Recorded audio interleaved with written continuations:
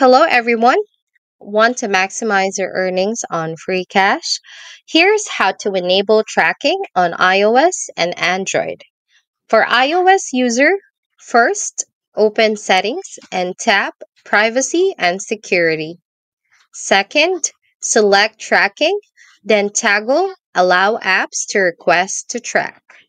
Third, accept tracking prompts when using Freecash.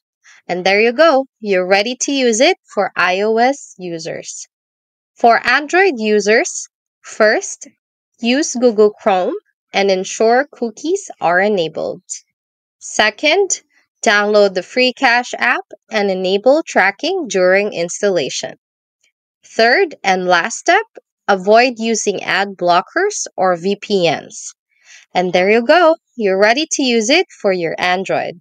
Remember to check your offers in progress to make sure everything is tracking correctly. Happy earning!